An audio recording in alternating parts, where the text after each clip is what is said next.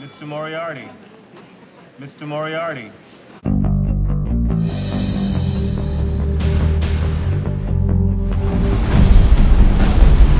Have you ever felt like you were meant for something more?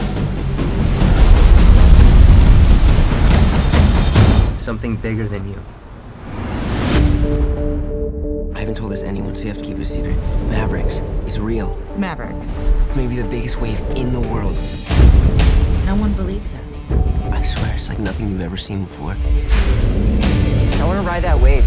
That wave is a myth, and the four of us who surf it intend to keep it that way. Train me then.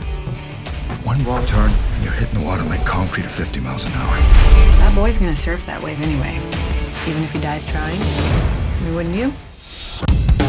This wave only happens on big northwest swells, and the window for those swells closes in 12 weeks. So you got 12 weeks. Got it. A few things we need to establish before we begin.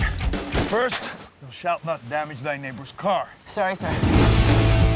Call that the boneyard. Do not let the current push you in there. It'll smash you to pieces. You gotta hold your breath for at least four minutes. That's impossible. I'm not even gonna acknowledge that just happened. You take care of that boy. This is gonna change everything. What if you're wrong? What if I'm right? There are all kinds of sons, Frosty. Some are born to you, some just occur to you. Just waking up in the morning. You gonna slay that dragon all by yourself, or is your rent a dag gonna help you out? you half the population just waiting to see me fail. Yeah, right. This you is better about more trying than just surfing. It's about finding that one thing in life that sets you free.